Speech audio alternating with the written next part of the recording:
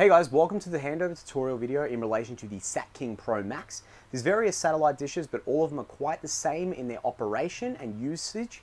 We have our SatKing, our SatKing box, a HDMI splitter. I'm going to tell you what all of them do so you can understand to get the most out of the system. But first and foremost, when you pick your Crusader up with your brand new satellite, it's going to have a read this first, which normally I find best is if you read it first. Um, going to give you a very clear indication of what you need to do to register the device as you're traveling around, you know, Joe and Sandra, they're just living the dream. Um, you need to register a particular card with yourselves, right? So it's free to air TV. You're not paying a dollar, um, but you need to make sure that these guys, who you're pinging off their satellites, know who you are, right? So this card, it's got this little green card. Now, the fun fact about the card is this card, located in here, if you flip this down, this little card here is particular. We're not going to show you the number because it's special to this box. This guy here is married to this box, husband and wife, can't get divorced, always in one another's lives, have to stick around for the kids. That's this here. You cannot lose this card or you're getting a new box. You can't lose the box, otherwise you're getting a new, a new box and a new card. They're married together. You cannot separate them. They're one in the same. So this guy here lives in here.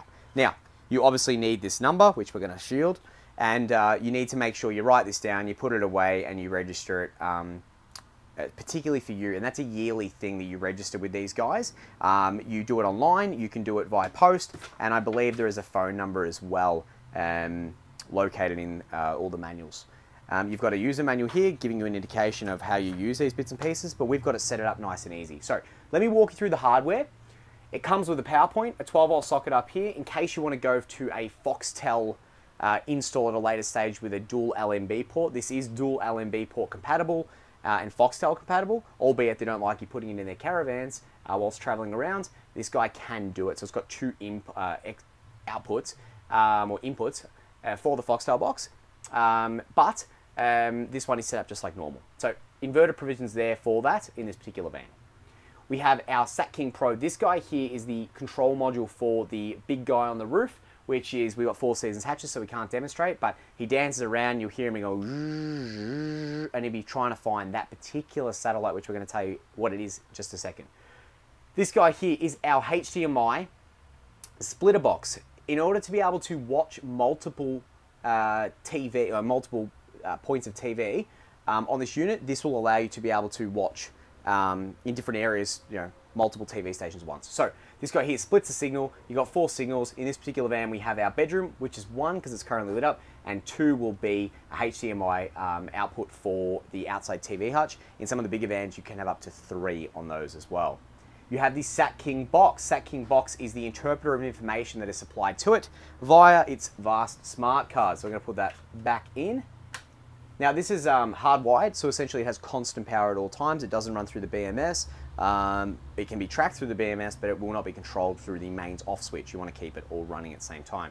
So the connection that goes to your TVs will be a HDMI connection. Typically in the installs with Crusader, we run a HDMI wall port.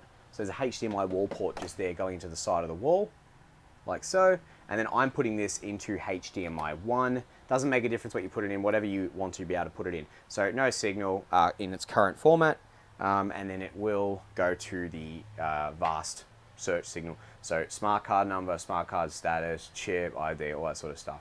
Um, then, you know, then with your Sat King remote, you can then start engaging it um, to main menus and tuning and whatnot.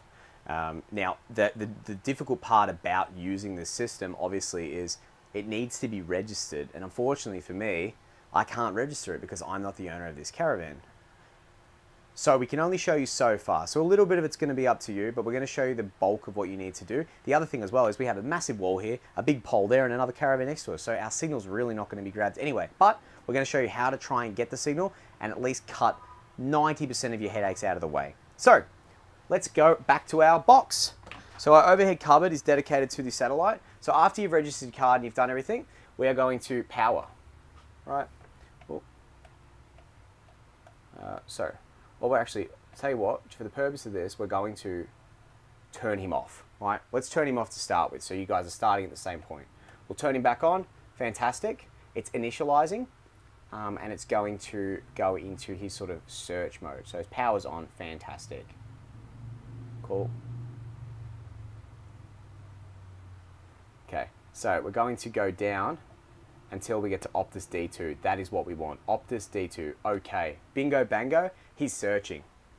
So it's going to, now on the, the, the roof there, it's going to lift itself up and it's going to start turning and it's going to find in the sky the Optus D2 satellite. It's looking, it knows its coordinates, it's going to grab it and it's going to start grabbing that signal and screaming all that stuff back to the Sat King box, which is then going to stream the signal back to the HDMI splitter box and you guessed it, it's going to go straight to the bedroom TV.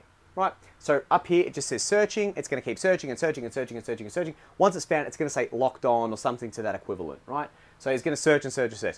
Unfortunately for the Sat King Pro, which I can hear rustling around the roof there, he doesn't know that he's never going to find it because again, buildings, we've got Chemist Warehouse, we've got poles, we've got towers, we've got everything. It's not going to happen. So really, for this guy here, you need to make sure you're parked outside of a tree or something. If you're under a tree trying to get signal, it's not going to work. This is for outback remote, middle of nowhere. We're going to paddock in Darwin sort of situation of camping. That's this guy right here, just for our TV signal for wherever we happen to be, and you get some really fantastic watches wherever you may be. So he's going to be searching. We're going to make this video seven hours long by the time he even attempts to get it, and probably never going to get it. So keep watching. No, um, we need to cut it short. So we press home, right? Move to home, okay. Yes, we want you to move to home. Great, good. And he's going to move to home. Now, what home looks like is it looks like the satellite dish, for instance. If the satellite dish is up on this angle here, it goes, all right, whew, got to go home. Lay on his back, let himself down, and that's travel position, right? Um, he will lay flat. Um, and we need to make sure that he in fact moves to home to be able to drive. If the satellite is up and you try and drive, bad time. You want to make sure it is secure, it's moving to home and it's taken care of. Once it's moved to home, that will disappear off of the screen and it will say, I think it'll pretty much just go back to its home screen. So that's an indication that everything is all sweet. So it's flashing up here saying home. I can hear it trying to lay down. It takes a little bit of time, so just bear with this.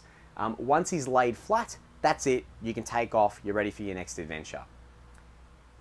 Once he's locked onto that signal, right, from previous, the Optus D2, very specific, Optus D2, manual's down below in case you want to confirm any of this.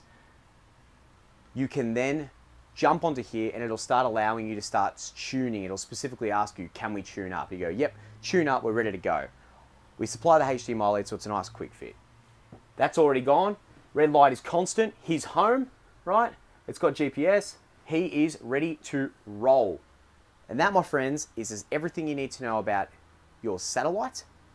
For dual LNB connections, such as Foxtel hookup, have a chat to your local Jim's antenna, your local Jim's man, your local auto electrician, people like that, or your local caravan service agent. If you want to know more, head to another video, find it all out, dive as deep as the rabbit hole will take you. We have heaps of videos to explore, guys, and we'll see you ready for the next one. Thank you so much.